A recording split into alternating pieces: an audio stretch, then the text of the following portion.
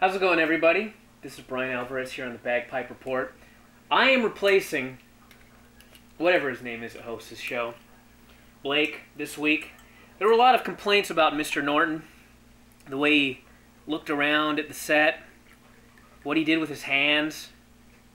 So, I am the new host. Hey, Bryan, we good to go? Oh, what's up? Hey, how are you? Oh, it is so good to be over back here home in Washington.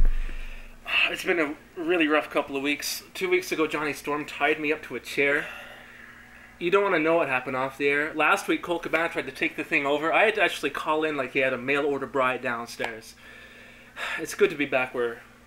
Wow, tell- I well, can- good. I was keeping your seat warm. I poured you a glass of water. We're ready to go. That's some great water. It's good to be back with some friends. Hey, everybody, this is a Bagpipe Report. Get ready.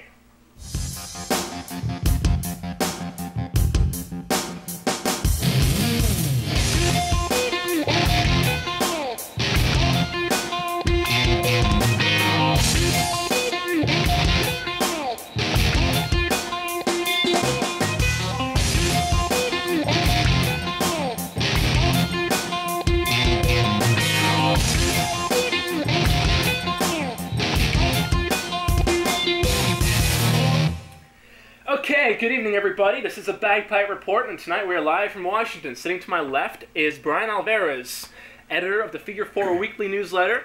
How you doing this week, Bryan? Good. Good stuff. We're gonna kick it off talking about WWE is right now in England. They're right around where you guys are. They're doing Raw, SmackDown this week. Uh, both rosters are over in that part of the world. This is the biggest tour that WWE has ever done. I mean, they've never done back-to-back television tapings in another country like this before.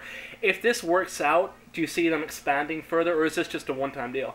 Um, well, it's already worked out, so they're gonna they'll do it again. Basically, uh, business is down in the U.S. and whenever it's down in the U.S., you can go overseas and make a lot of money. Yeah, Like WCW in the dying days went to Australia when they were that's right. That's right. In 2000, they were yeah. doing uh, you know I think they did 840 for a Thunder taping, right. and then they went to Australia and just did huge business. Yeah, giant domes and everything. Yeah, of course, because it's so underexposed over there comparatively. And uh, this, uh, you know, business is down domestically, but I think this is one of their biggest weeks in history as far as Right. making money touring. So it's been a huge success, and they'll go back. Oh, what are the ups and the downs of doing these tours? Obviously, it's tough on the wrestlers because they've got the jet lag. They got to go a great distance there and back. WWE, uh, they can't obviously send wrestlers home for a day if they don't have a show. They have to plan things very carefully.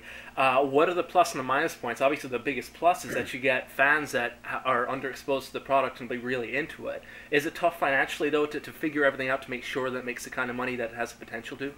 Uh, the biggest problem is the jet lag Mhm. because for for a lot of the wrestlers, like, you know, there are a lot of downsides to going overseas and touring, like the jet lag and everything. But you're Yeah. also going from working in front of a small crowd doing a house show to Mhm. this huge crowd that goes crazy for every single thing you do. Yeah. So that kind of you know, that kind of makes up for any other problems. Right. But like, you know, the other issue is there's no communication. Mhm. Like, uh, um, and there's no communication like throughout the entire company because Right. Carly Colon was supposed to uh, work the Ohio Valley tapings Mhm. uh, last week, and he was in England, Mhm. and they hadn't alerted Jim Cornette that he Oh my was gosh. leaving the country, Oh, so that screwed up tapings. But Yeah. yeah, I mean, it's like there are way more benefits to, to negatives as Yeah, far as yeah, for the guys. Well, now shortly after they come back, they got Taboo Tuesday coming up. Uh, start off as uh, the, the great idea, Taboo Tuesday. This is our interactive pay per view. It's going to change the way the business happens, takes place forever. And of course, I mean, right from the outset, we're thinking they have no ideas, they have no direction. So just ask the fans do whatever they say, which I mean isn't that bad an idea in times of trouble. Uh, only fans really haven't had the chance to actually create this pay per view. I want to start with the main event with you.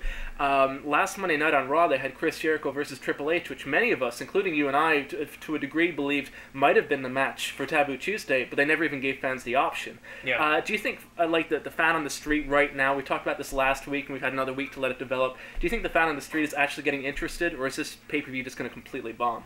Well, there's like a there's a weird kind of buzz for this pay per view just because it's like a it's like a, a first time deal Yeah, where they can actually choose. And because, of course, we won't even know until the night of the show who's wrestling. Yeah, who. and it's not even the night of the show. It's like during the show. You can still Mhm. vote during the show. So they're Yeah. gonna have to take like the the uh, you know the three guys for the main event that are candidates and have a, a match for each guy, Yeah. and then you know five minutes before bell time they just go, well, it's you. And Yeah. You two. Sorry. Yeah. So, uh, but uh, there there's a weird kind of buzz for it, but uh, you know at the same time it's like I don't know if that buzz is going to translate into people actually, Actually buying the wanting to buy the show. Yeah, yeah. Especially because like you know Tuesday night. I, I understand that on Sunday people work the next day, Mhm. but on Tuesday, not only do they work the next day, but they work that day. Yeah. And you know, for West Coast viewers, they're driving home from work at five o'clock when the pay per view That's starts. right. It starts 5 p.m. So yeah. you know, you're alienating uh, an entire coast, Yeah. yeah. and uh, and then the matches, it's like you know, you get three choices, and you're giving fans three choices of matches. Actually, two choices because there's the Edge Mhm. factor, but nobody wants to see Edge. No. So it's like No. you're either giving them Benoit or Orton, and they've seen those matches a hundred times. Yeah. It's nothing against either guy. Fans, it's just that fans want to see somebody different, Yeah. and they're not getting that option. So Uh, women's title match. It's battle royale for the women's title. it's some sort of thing where the fans get to choose what they wear. Yes, people are going to pay thirty four ninety five because they didn't buy the Playboys to see them naked. Instead, they're going to choose what slightly revealing thing they can see pretty much any week on Raw. Anyway, the mind boggles. Um, women's championship pretty much means nothing at this point. Yeah. Um, and the sad thing I find is that whenever you put a title up for grabs, and I mean, I'm going I'm going to exclude the Royal Rumble '92 from recent history here, but but uh, whenever you put the title up for grabs in a battle royale, royale situation, it cheapens the belt. So I mean, if the belt was held up, that's not a great option. A tournament would be a decent option. It's not a great option. The belt is, isn't even held up. It's just a battle royale. That's all it is. Yeah, I mean, there's a million things they could do. They could have done a battle royal, and the winner, you know, Mhm. faces the women's champion or whatever. But I, I can't even compare it to '92 because that's like a totally Yeah. like a totally different type of deal. But Yeah, for the yeah. women's title, it's like it doesn't even matter. So they can do whatever they want. They can do beach volleyball, and the winner gets the belt because Yeah. it means nothing. Uh, yeah. Uh, let's see what else we got. Oh God, we got Christy and Carmella. Um, I don't think I even want to broach that subject. Bischoff versus Eugene. I feel really bad for Eric Bischoff, not because I mean I don't know him personally, but I think he's a really good character. I think he's a really good heel. We we don't need a heel GM right now. We shouldn't have any heel GMs right now. They've been done to death. You have to wait ten years, but. He's a good heel GM, and all they do is have him get beaten up by Steve Austin or urinated on by someone else or, or have Regal piss in his tea or whatever it is, just because he used to run WCW. And then every six months, Vince McMahon comes out on Raw and says, That's why I'm not working for WCW. Uh, is this just, I mean, is there any more th- to this match than simply having Bischoff lose and have his head shaved or something like that? Well, the thing with Bischoff is, it's not even so much that he ran WCW. Mm It's more the fact that he ran WCW and everyone still hates him. Like he is a truly hated man. Yeah. When I was in, uh, I went up for Kelowna and some other uh, taping, and I snuck in the back, and uh, Eric just, you know, he was he was always alone, Mm always drinking his coffee, and he's just wandering aimlessly hmm. because nobody talked to him Mm because he, he's he's really a hated guy, hmm. Mm and I, and it's like every every six months something has to be done to humiliate this man. Yeah. and uh, this time obviously they want to shave his head because they're pushing that one the hardest Yeah. of all. Yeah. So you know he'll get his head shaved, and Vince will have a good laugh, and he'll be GM again, and then six months down the road he'll have to do a tuxedo match or something. Uh, For, for, for the worst reasons possible, I'm actually kind of digging Kane more than anything on Raw right now. Mhm. And I mean, I, I hate to say that because it almost in some way justifies the putrid, horrible crap that we've had to put up with for months now. Mhm. Um, he's facing uh, this uh, Kaniski fellow who I know I know nothing about on the pay per view. I have to admit, I just you know I didn't even know he was showing up. He's from Ohio Valley. You were telling us last week. Yeah, Gene Snitsky, uh, he uh, he's been in Ohio Valley for about six weeks, and uh, as far as like, you know, the guys in the company that are ready to move up, he's at the the bottom of the list, like the Right. very bottom. Right. But he's Gene Snitsky, He's tall. and so they brought him up. He's big arms. He's Gene Snitsky. Right. After you've watched Gene Snitsky for a while, you're like, okay, I know why they brought him up because he's just Gene. You know what I mean? Yeah. So they brought him up, and uh, uh, he's totally not ready, but right. he's there's something about like Car- Carlos Colon or Carlito. He wasn't ready either, Right. and they brought him up and put the belt on him on SmackDown or whatever. But like, you know, Gene has this weird thing, this Mhm. weird charisma, Mm. where I can almost see him getting over. But uh, Mhm.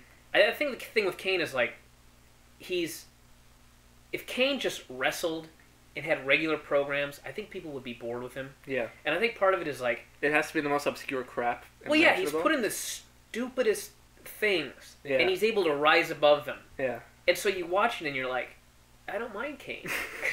like, I would have to be watching something so horrible right now if it weren't for Kane. Right. Like, Kane saves it. You know what I mean? Right, right. So I think that's part of his appeal. You know, I don't want to get off on a, a, big rant here, but well, maybe I do. Um, they've been trying to make wrestling logical these last few years, and the biggest example of that is the, developmental territories, right? I'm, I'm talking about the you're talking about guys coming out from OVW, all Sure. that. Uh, I mean, something that's occurred to me quite quite again and again and again and again and again is that you can take a good wrestler who's been wrestling for five or ten years, send him down to OVW, and if there's things he doesn't know, he can learn them. Mhm. But if he's gone as far as he can go, that's all there is. And some guys, you, you know, you mentioned that X Factor that Gene apparently may have, because I've only seen him a couple of weeks now. I mean, some guys have it when they get in the ring and they, they can't wrestle, they can't work, whatever. It doesn't matter, they have it. Mhm. You know? Like Dusty Rhodes, for example, people like these days, I can imagine if Dusty was coming up the ranks, people going, oh my god, he can't work, he's got no work rate, but he's Dusty Rhodes, you know? Yeah. He's got that X Factor. Is WWE ever going to go back to because we were talking to Gangrel last week saying about you got all these great bodies coming up, but nobody's actually paying attention to that X factor, and that's what sells tickets. And we've got so many of these Gene characters coming up now. If he sells tickets, they'll be lucky. But is anyone in the company right now looking for you know this guy is interesting? I don't know why, but I'm watching him. He's he's not wrestling well, but I I, I would tune in to watch that person. I almost lost you when you were talking about the logical storylines over the last few years or whatever, or the logic they're trying to put into it. But Mhm. the thing is, like, what we see and what Vince sees are two completely different things. Go back to the Albert Big Show examples in, in a way. Yeah, I mean, it's like they are looking for an X factor, Mm. and they've seen many of them. Mm. Gene Snitsky, Mm. Carlito Colon, all those guys they see as having the X factor. You know what I mean? Like, yeah, uh, yeah. I think the big thing on the internet now is that uh, John Laurinaitis uh, brought Kenzo Suzuki up, and he's his personal protege or whatever. But uh, it was actually Vince. Really, Vince saw him in a dark match and, and said, "I don't want that guy, really. Kenzo Suzuki," who's like, he's Kenzo Suzuki, but uh, Vince saw Kenzo Suzuki and was like, "That guy has it." Yeah, Whereas anybody who's ever seen Kenzo Suzuki work knows he doesn't have it. right. So, uh, you know, it's not that they're not looking. It's just that their opinion seems yeah, to maybe they're be looking for jaded something over completely time. different. Like we were talking, uh, uh, Samoa Joe was on our show tonight, Right. and uh, you know, as far as like the indies go, he's, you know, he's really good. Mm. And you know, most anybody who watches Ring of Honor and everything and has seen him his work would go, get him. Yeah. But WWE hasn't. Hmm You know, they've, they've talked to him a few times, and in fact, he said the last time he talked to him was when he was in UPW. Really? Think about how long ago that That's like four years ago or something like that. yeah. So it's like they see something completely different, right. and like like AJ Styles, they saw um, a short guy that did a lot of flips that they wanted to send to Ohio Valley. That's all they saw out of him, Right. and uh, so he had to go to TNA or whatever, right. and or he chose to go to TNA. But yeah, they they have a different idea of what they want than Right.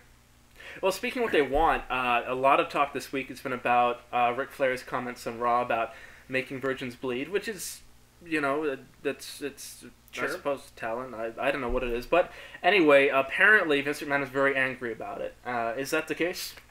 Uh, he was irate, Mhm. and uh, I, I think that uh, I think part of it was because there may have been people in the crowd that he didn't want to hear the "making virgins bleed" comment. A lot like advertisers. Yeah, Uh, I, I can't remember who was there, but there was somebody there that that, that was what really set him off. It wasn't Right. it wasn't so much. Did- I mean, Do you think it was directed at Flair, or he was just angry because it happened? oh, he was mad at Flair. Right. Well, I mean, uh, this is the problem. Though. I mean, this is the guy who his daughter was was kidnapped by the Undertaker. She was raped by DX. Um, his son-in-law uh, raped the the corpse of uh, Katie Vick on television. And, Well, and look at the diva segment. yeah. Oh God. The diva segment, you know, they said things that, and like Hunter was Yeah. upset about that one because you know, uh, he was upset that, you know, these women who weren't even performers Yeah. can use this language and Yeah. I can't. And it, it's just, you know, Vince Vince loved it though, Right. but he hated Flair's thing because of who was there. I think that was the biggest issue of everything. Right. Do, do you think it's kind of a situation where, where Flair just sort of got in on his game face that particular night? I, I, I take you're meant to, uh, for everybody who's watching, pass by, you know, the writers. Is it okay to say that I make virgins bleed? You know, be, before Yeah. you go out there and you do it and they oh, You go, oh, so. you know what? There's an advertiser in the crowd tonight. You know, maybe you should wait till next week. Yeah. And then the week after you can, you know, kill Stephanie and rape her corpse, you know. But this week we shouldn't do that. You know? Well, like the thing is with Flair, Flair's cuts so many millions of promos or however many he's cut, and it's not like he's writing scripts for everyone. So when you're Ric Flair and you get out there, you just, you know, whatever comes to you comes to you, and then Yeah. came to him. And Yeah. but you also have to understand that like Vince, Vince is he's just weird. Like he didn't want Ric Flair to say woo. Why? He just didn't like it. Really? 'Cause I don't like that. It's pretty over. Yeah. Yeah. But he, he just banned it. He didn't like it. So Uh, Speaking of things Vince doesn't like, um, I, there's a report again circulating the internet about Pat Patterson being put on the road to see what's not clicking with the Raw brand, and about him saying, you know what, Th- there's a little bit too much emphasis on this Triple H character. It might be costing the rest of the locker room. Uh, is that true? Was was Pat Patterson out on the road, and did he come to that conclusion? Pat Patterson said something. I'm not sure exactly what it was. Mm-hmm. But uh, you know, part of it might be that Pat is just he doesn't like the entire direction of the company Right. because uh, I mean he's been with the company longer than almost anybody, Mm. and if all the people to have a brain Mhm. and know what you can't say, Mhm. you think that Pat Patterson would be one of them. Right. And if you want to keep your job, you don't go. There's too much emphasis on that Triple H. that, that, that son-in-law of yours, he's, uh, he's- not not quite the bee's knees. The yeah. situation. So I, I think you know, to, to me, unless Pat Patterson has totally lost his mind, the only way I can explain it is he's, He's- ready to retire. Yeah, he's bucking. Because- he's bucking to go out on a positive note. You know, Yeah. hey, that Pat Patterson, he said what the deal was, and you know, it's all good stuff. So, uh, you know. Yeah. So okay, let's. Uh, one more question I got for you now. Uh, this coming week, they're back in uh, back in the states. Uh, they're off the European tour. Are the guys going to be tired? Apparently, Charlie Haas injured his leg on the tour. Uh, Shawn Michaels is coming off the tour a bit banged up. Apparently, didn't work too much last night. Um, is that going to have an effect on the pay per view, or are we all good to go? Uh, Charlie Haas. Charlie Haas. I heard that he Well, heard. he's SmackDown, so that'll have no impact. Yeah, of course. I was confused. I thought he might have jumped ship, and I was unaware of it. Oh, well, these point. days, watch Raw on Monday. You never know what's gonna happen. You never do. No, I mean, there's you know people get banged up all the time, but uh, you know, Mhm. Michaels. Michaels has worked with a lot worse injuries than a banged up knee. I was gonna say, you know, except know, except with Sid, in which he lost his smile and had to vacate the title. But uh, that's that's a tough one though. You know, it's, sure, you know his his heart wasn't in it. But I mean, when he wants to work, he'll work with whatever injury. So I'm not concerned about that. But Yeah. they'll be tired. But there've been a million shows where you know the, the, the only one I really worry about actually is Ric Flair because I seem to remember like the last two overseas tours they did, he came back with jet lag and just scared me in the ring. really, Like taking all the weird backdrops on his side and everything like that. really, really. Okay, well that'll be interesting.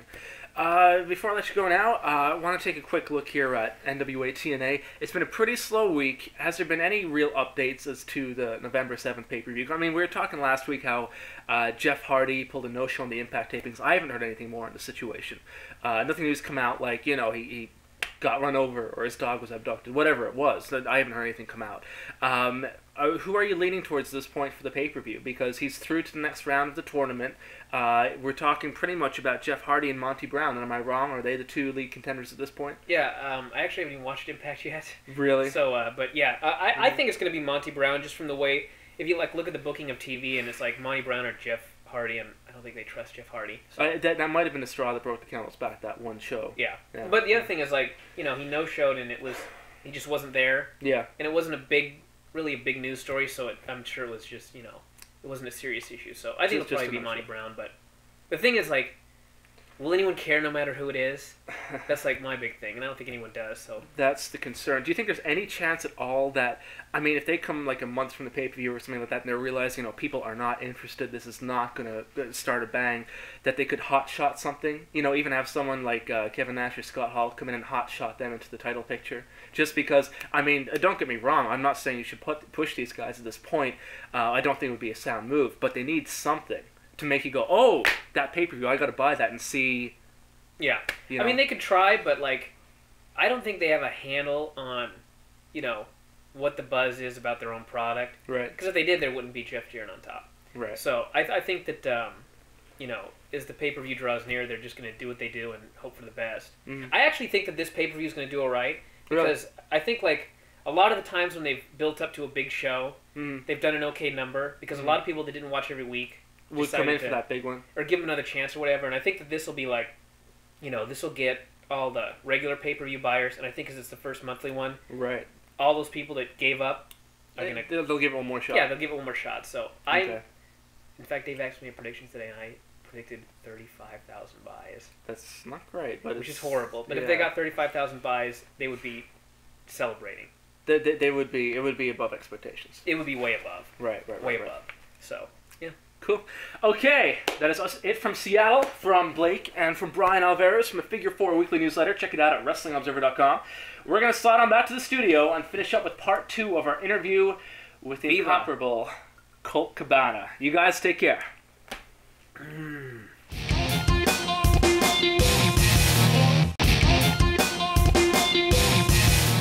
And now it is time for part two. We shall rejoin our conversation with the very entertaining and controversial Colt Cabana.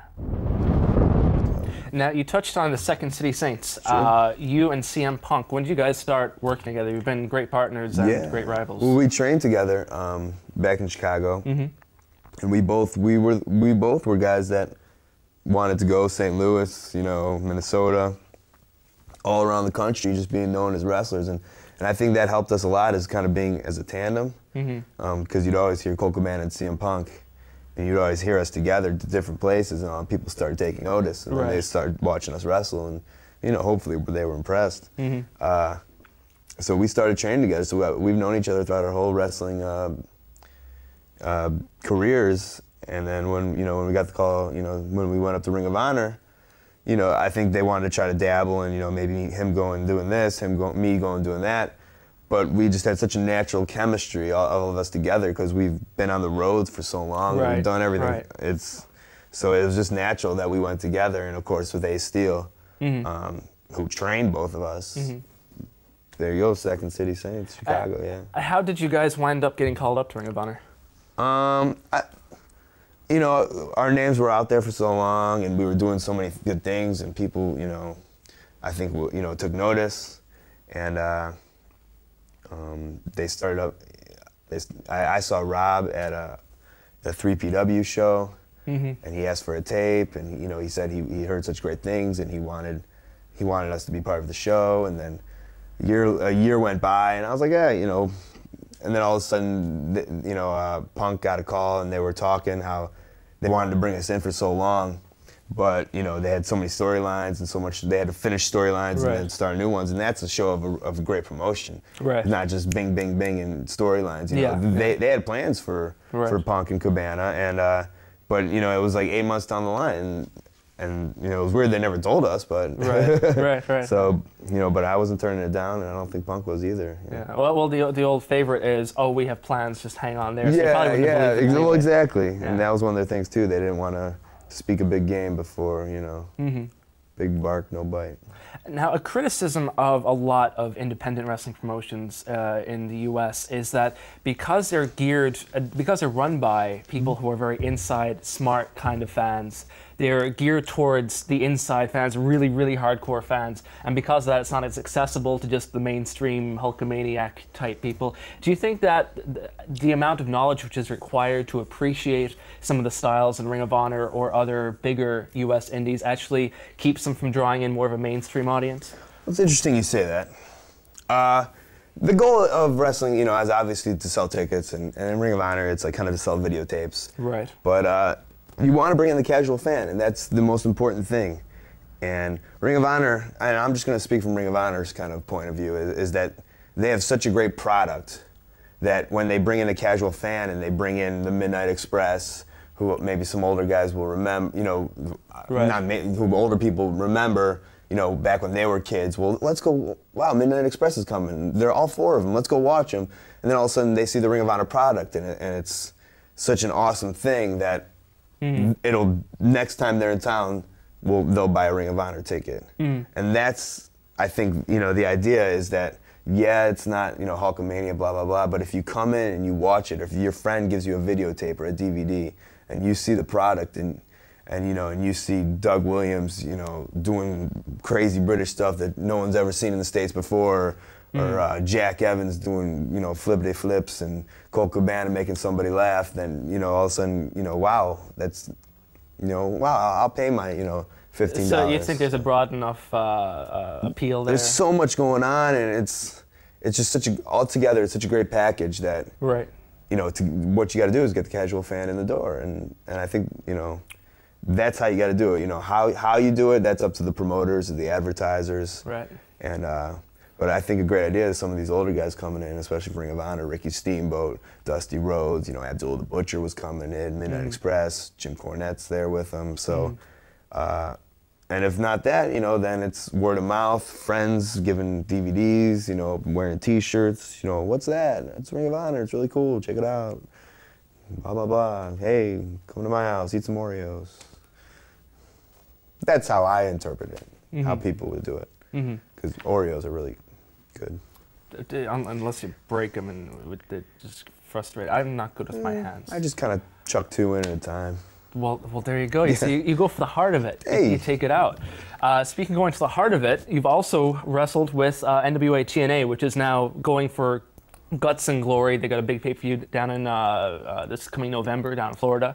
Uh, you've done some Xplosion dates. Is that your transition? The, the heart of it? Yeah, you see, I just I just take whatever you say and I find a way. You see, Florida is kind of, for example, here. Where, here. where does the heart of it come Here- into here's, TNA? where, here's where we're going. You see, first of all, NWA TNA, right? Okay. They're going for the heart of wrestling. You see, they're putting all their money in and they're going for it. Here's another one. You see, they're going to be in Florida, right? Now, Florida is the heart of the, the Gary election Hart? coming up. No, no, no, no. The H E A R T. Gary Hart lives in Florida. Does he? Uh huh. Do you have his number?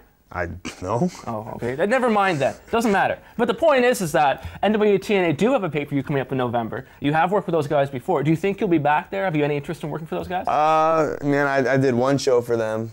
Uh, yeah, there's interest in, in wrestling for for NWA TNA, and uh, you know, I hope maybe there's some interest on their part. And it's just, uh, you know, it's kind of there's so much politics in wrestling, and yeah. Yeah, uh, you know, maybe one day you'll see Colt Cabana on there, maybe not. It's Uh, do you think in that case the political climate uh, in Ring of Honor is better, that's more geared towards talent than who you know, than NWA TNA perhaps?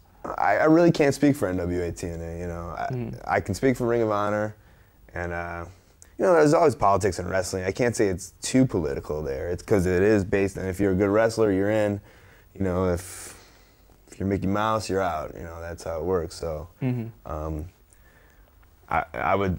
That's all I can say. You know, I don't. I can't really speak for TNA. I Now, if you had the opportunity to go to WWE, yay or nay? sure.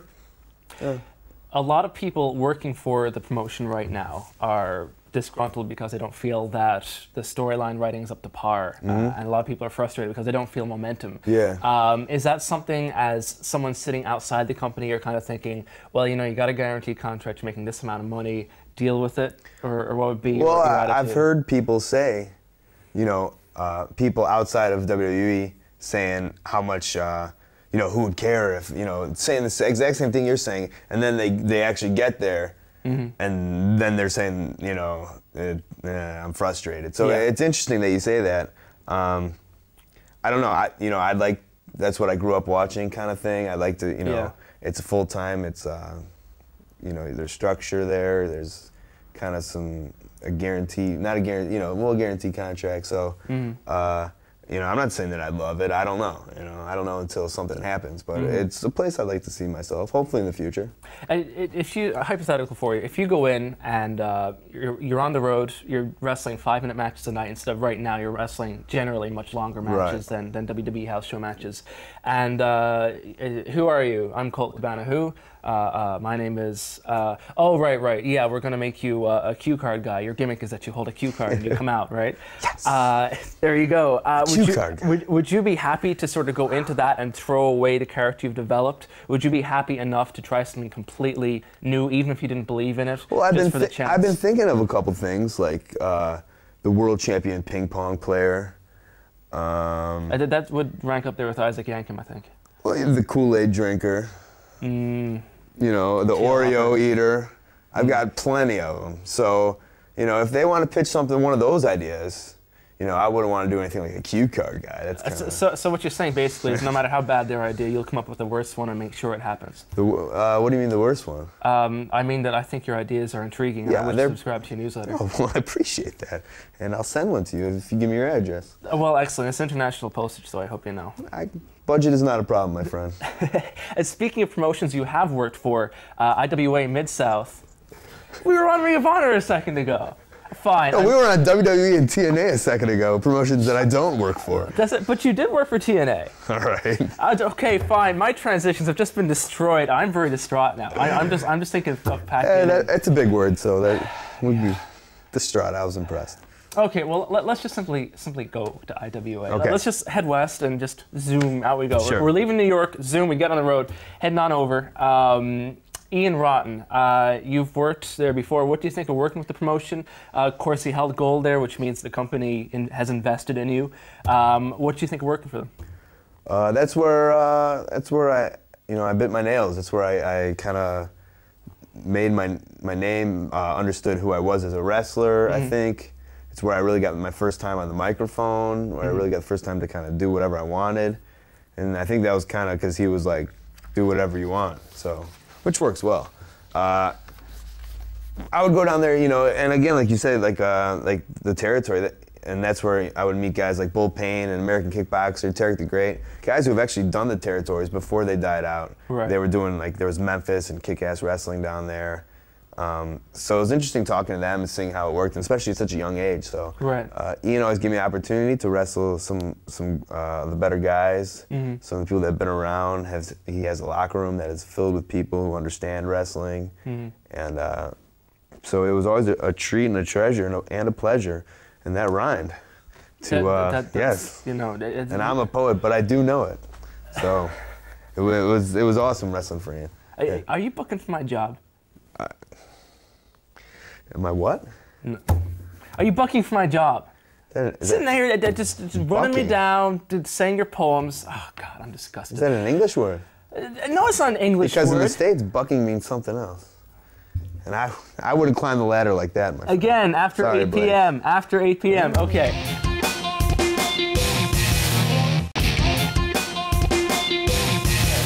Uh, Ian Rotten's style is very different to yours. It's very hardcore. Right. Um, uh, speaking of after 8 p.m.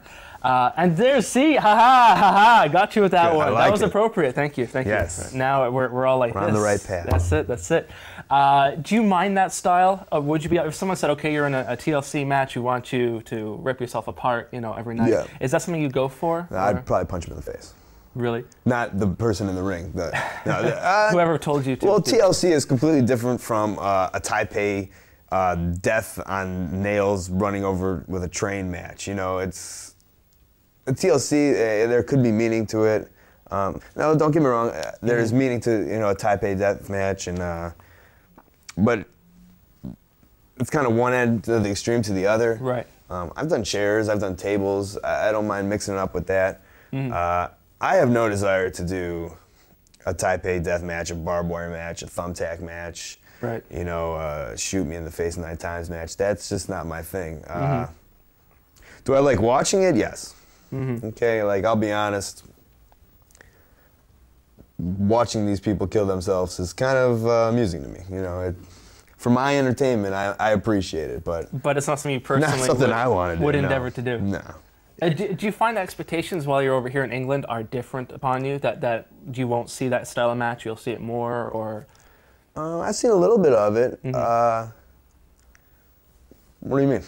like when you're over here, like in the states, obviously. I mean, a lot of cards these days are very set. Okay, you guys are having the technical match. Okay. You guys are having the high flying. You guys are gonna bleed all over the place and Right, stuff pigs. right. Uh, is it the same kind of thing over here, or or is it more traditional wrestling? Do you think- well, what I've been on it is, uh, you know, kind of traditional wrestling. You know, with FWA, um, they they kind of go around the, the spectrum a lot. They kind of have Yeah. different aspects, and which is it's cool uh, because they're not they're catering to a different audience than uh, than some of the other promotions. Right. Um, again, and that's the same way it is in the states. I guess there's different promotions that cater to different people. yeah. So it just you know it depends on the cards.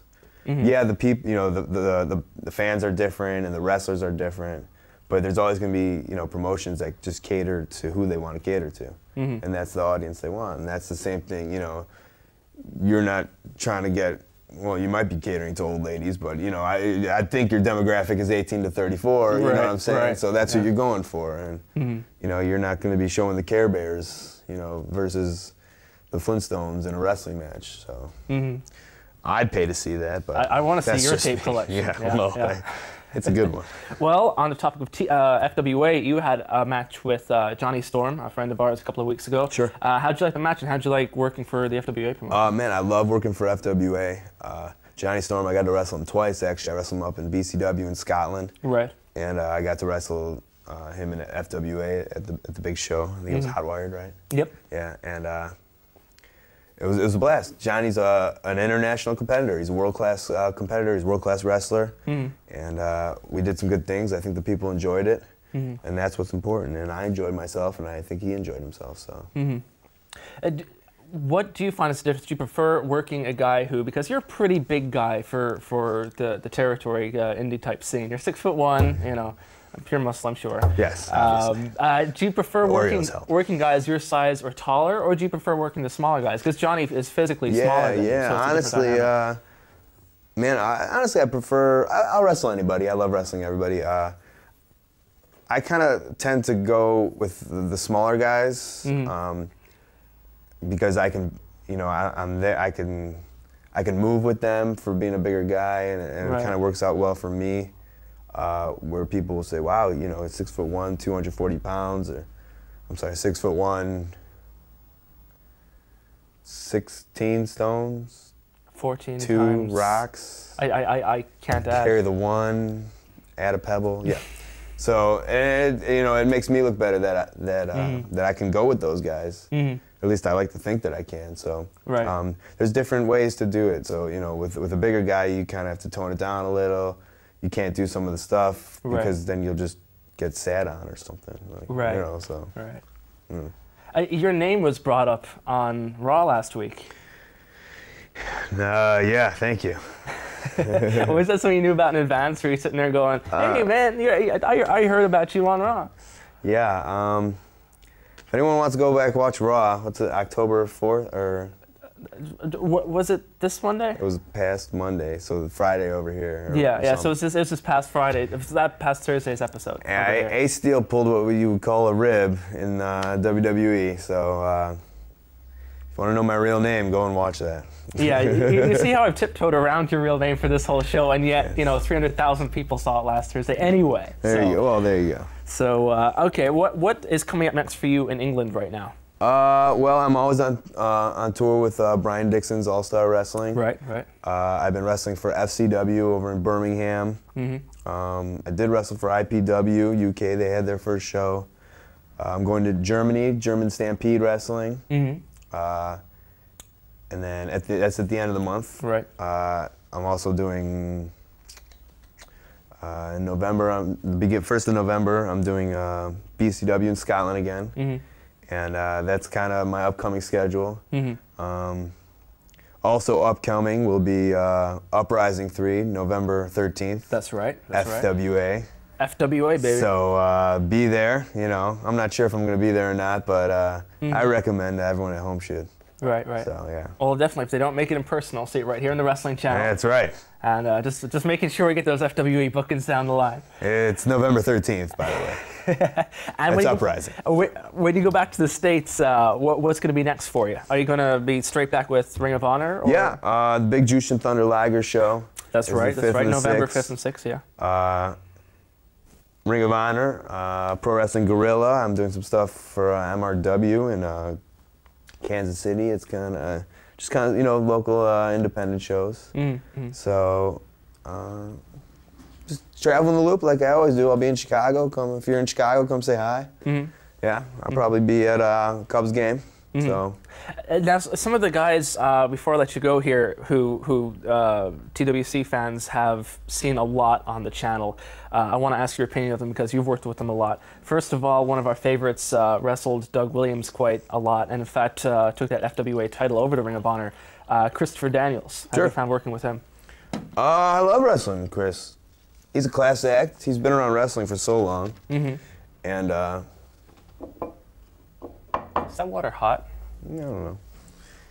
Uh, you know, he's been around England a lot too, and uh, like him and AJ and all these guys are just a pleasure to work with. Mm-hmm. And they know what they're doing, and they're they're veterans. So Yeah. Another guy is Raven, who, uh, in his own interview that we saw here a few weeks ago, comes from the school of do as little as you can, which is completely the polar opposite. It seems to me that most guys coming up are, are trying to do as many flips as they can, whereas Raven sort of takes pride in doing as little as possible while keeping the fans into the match. Do you think that up and coming wrestlers have a lot to learn from veterans such as Raven? Well, it's like Raven's been along for so long, and he was back in the territories too. You know, you can't forget that. So uh, he comes from kind of the old school theory of kind of do as little as you can, Yeah. get the most out of it. Uh, yes, I think everyone should be kind of trained the old school theory. And then if you want, you know, like AJ and Chris and and uh, a lot of these guys, and I'm not gonna put you know myself in the same, but I'm just saying like we were all trained old school theory first. You know, know how to do the basics, know how to do everything like that, and then pick it up. You know what I'm saying? I, I- you know, I didn't do much anything really flashy in the first couple, first one two years, hmm. um, and then after that, you know, I started picking it up because I knew what the people wanted. So. Mm-hmm. Mm-hmm. So you know, I think Raven has has a strong idea.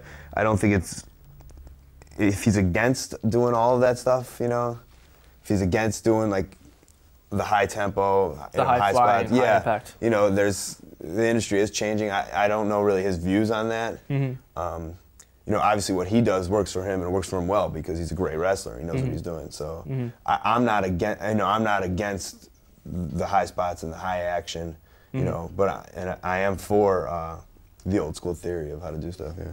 You're injured recently, and uh, something I like to ask of, of our guests is when you sustain an injury that puts you on the shelf, A, how hard is it to stay out of action and not get straight back to the gym and, and further hurt yourself? And B, does that make you think about, hmm, how long is my career going to be? You know, should I start thinking about that? Yeah, well, it's interesting. Is uh, I mean, I was injured. I'd say it was like August, Mm-hmm. and I, I totally tore my shoulder, and I wrestled till October until I until I said, hey, I I got to start because business-wise, my body was starting to look bad. Right. I couldn't hit the gym. Um, I said to myself, okay, I got to take two months off. Right. And I knew that it would fix itself, and nothing in my head really went, you know, wow, how long is this going to go? Um, I'm going to ride this out as much as I can. Uh, but it does, it gives you an idea that we're not supermen, that stuff does happen. You have to be careful. And the same thing goes with uh, the Raven theory Right. is that, you know, if you're going to be wrestling, especially in Britain here, five, six times a week, you know, uh, Huracan Super Rana punches might not be happening every night. Might but if you could tell, idea. yeah, if you could tell a good story and you could be, uh, you know, a professional wrestler and do Right. it your best, the people will still like you and they'll enjoy your stuff. Right. Well, fans over here in the UK and Ireland have certainly enjoyed your work to date. Uh, we look forward to seeing you more on the wrestling channel, uh, Ring of Honor, and uh, hopefully we'll see you upcoming in TNA as well because we have seen you on Xplosion. Uh, Colt Cabana, it has been an absolute pleasure to have you here on It's the Back pleasure. Report. Thank you very much. And uh, that's it.